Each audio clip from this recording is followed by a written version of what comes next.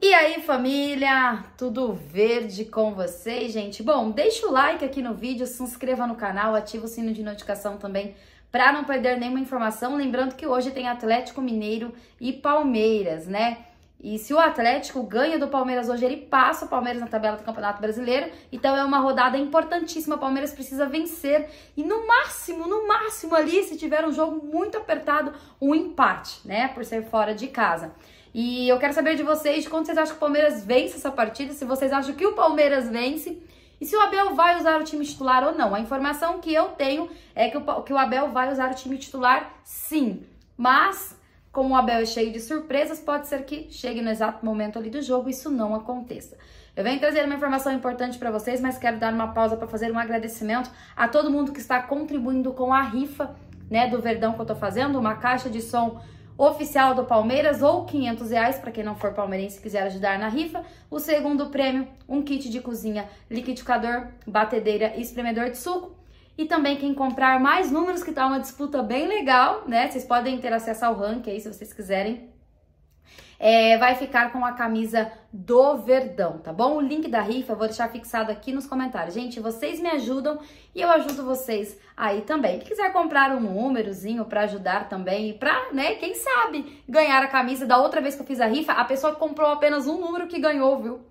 Então, conto aí com a colaboração de vocês e já agradecendo a todo mundo que já colaborou e ajudou aí, tá bom? Mas a informação aqui é que acabou de sair a lista de convocação dos jogadores e temos três convocados do Palmeiras, né? Para quem não tinha ninguém, nenhum, só o Everton que vinha sendo convocado, né? Mas antes do Everton era ninguém. Agora temos o Everton, o Rony e o Veiga, tá? E eu tô vendo a própria torcida do Palmeiras criticando a convocação do Rony, que o Rony tá merecendo até banco e não deveria nem ter sido convocado. Eu acho que a galera, a, a torcida do Palmeiras acaba cornetando assim porque é, acha que o Dudu merece mais que o Rony. Gente, é, eu nem sei de verdade qual opinião dar aqui, porque se eu falar que eu concordo que o Rony não deveria ter sido convocado, vocês vão me xingar. Se eu falar que eu que, que eu concordo da, da convocação do Rony, porque pela temporada que ele fez aí o ano passado, enfim, vem ajudando muito o Palmeiras também, né? Lógico que não tá nos seus melhores momentos, eu falei no pós-jogo para vocês nos últimos pós-jogos. Então, qualquer opinião que eu deixar aqui, vocês vão criticar, né? Vou ficar em cima do muro e deixar vocês opinarem se vocês acham que o Rony merece a convocação, se tem jogadores aí que mereciam muito mais que Rony. Se eu não estiver falando abobrinha, é, esses jogadores que eu citei que foram convocados não vão desfalcar o Palmeiras, porque na data FIFA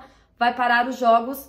Uh, não sei se é do dia 10, eu não lembro exatamente, sei que é em junho, né? Não sei exatamente qual o dia que, que, vai, que vai parar para que eles vão servir a seleção e depois voltem para não prejudicar o campeonato, até porque o Palmeiras jogando Campeonato Brasileiro, Copa do Brasil, Libertadores, ninguém aguenta, tá bom?